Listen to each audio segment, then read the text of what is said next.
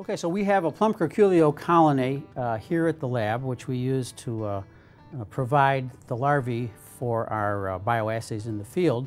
And there's a couple of different components to this colony. I've have, I have them uh, set out on the lab bench here. So first is the oviposition uh, houses. they look like this, just basically a crisper, kitchen crisper, with the insects inside. You can see that they're fairly small, although not uh, microscopic by any means. And uh, I have them in here on partially grown apple fruitlets.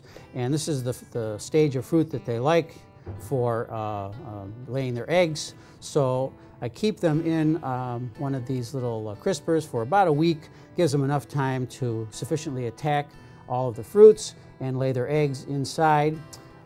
and at the end of that period, I take those fruits out and I put them into a rack, which you can see here, uh, which allows them uh, some space so that uh, after uh, about uh, three weeks, uh, when they've finished their development inside the, um, the apple, they're fully grown larvae and they, they emerge from the fruit and drop out of the bottom. And they go right through, these are previous weeks of collections, so I have four weeks running at a time.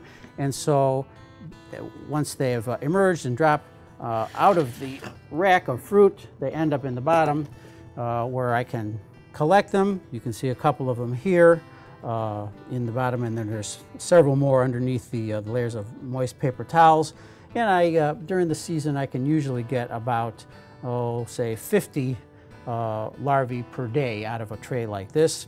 So I collect them every day and um, can use them in our field trials. But if I'm not running field trials, uh, then alternatively what I will do is uh, put them back into the colony uh, in order to uh, keep the colony going. And uh, for that, I have uh, jars of soil, basically, um, that allows them to finish their, their life cycle. I can just uh, drop them into the soil, they burrow in and they pupate and after about three weeks um, they emerge as adults and you can see there's one adult that's emerged. So every day I have to come out and collect uh, the, the adults and sort of uh, uh, reroute them into the oviposition cages and basically and also uh, uh, take the, the larvae and put them back into soil jars.